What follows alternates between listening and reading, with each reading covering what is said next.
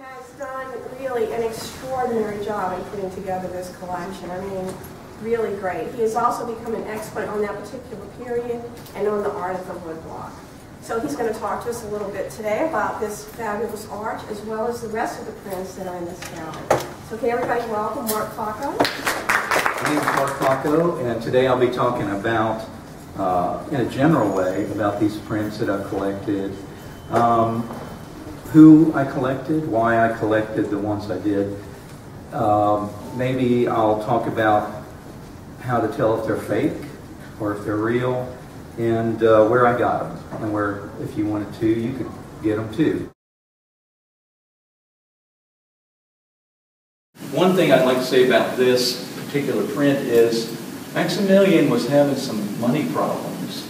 And so instead of getting the huge marble, huge, uh, massive uh, columns and stuff made, he uh, did it on the cheapo end, and he, he had it done this way, which um, we're glad about that.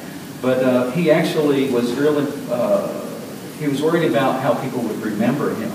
He wanted to be remembered as a very important person. So um, this was really designed to be plastered on somebody's wall. It's kind of like Diane pointed out the first billboard, know, an early billboard to memorialize Maximilian. There, there's three little specks missing that uh, make this original and, and real. And it's funny how three little specks can put me at ease, but that's what it did. And so uh, we find that this is an original, and it's it's one of my favorites. Um, the uh, he he was doing perspective back then. He was trying to show. Um, he was trying to fill up the uh, what you were looking at. Like this sheet is completely filled up with, with the horse. Again, nobody was doing stuff like that at that time. So he was studying perspective, and uh, I think uh, Leonardo da Vinci was, uh, he had had some drawings that he was going off of, which are lost now. This print has a watermark on it, and uh, there's some handouts get one over there. When we get around there, grab one. Basically, if I, if I took this out of the frame and held it up to the light, you would see um, a watermark, which is the paper manufacturer. And so I can tell how old this piece of paper is just by holding it up to the light. So if I was trying to sell Fred one of these, and he said, well, no, let me look at the watermark first, you would kind of be able to tell if it was as old as it was, just by one of the, one of the ways uh, of doing that.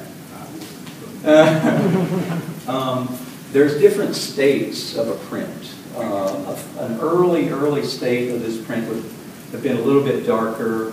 There's some little imperfections that you can notice. This is a Meder C of G. Joseph Meder wrote a catalog describing all the prints, and uh, uh, it, it's, it's amazing how much effort he put into it. But there's a little crack. It, well, there's not a little crack in this, but if I had an older print, you'd see a little crack right about in here, in the, in the block, the wood block. And so that's how you decide if it's an older or a newer print. And I'm glad I got an early one. So uh, sometimes the value of a print is, is just in its, uh, how old it is. Last time I was here, I wondered why there was these fainter images in the background, and he told me today that they actually changed the prints as they went along, so they might have added this in or t- started taking away at a later date. But apparently, they continually casted these prints during that, so that's what I learned. And I, I learned. Well, first of all, how important it is to know how to authenticate things. And it was interesting about the paper. And I like the fact that he was able to zero in on what they really told us. Unfortunately, I haven't been able to do that yet. I call him too many things, but it's a great.